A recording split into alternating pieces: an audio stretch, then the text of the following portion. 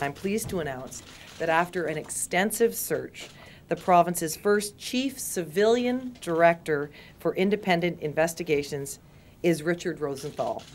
He has extensive experience in this job, and we are absolutely delighted that he's going to be bringing it to British Columbia. First and foremost, I want to create an agency that's going to be able to competently and professionally investigate serious uses of force and do it in a timely fashion that will withstand the scrutiny of Crown Counsel, the police departments, all the, uh, all the police agencies in the province, and the public. Today, we are following through on Premier Christy Clark's commitment in the throne speech to create British Columbia's first independent investigation office.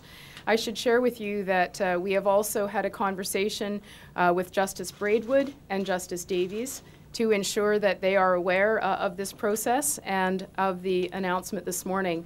And I think it's fair to say that they are very pleased to see the step that's been taken with our first chief civilian director. We recognize that, that this is a critical element of public confidence. So we couldn't be more pleased today, and uh, we look forward to working uh, very closely with the new uh, director in terms of developing the protocols and uh, uh, allowing the, uh, the new mandate to be fleshed out. And last year, I promised that there would be police oversight and independent investigation of alleged instances of police misconduct in British Columbia. I promised that because it's the kind of change people want in government. And I promised that we would have a more open government. This change is part of bringing open government to British Columbia.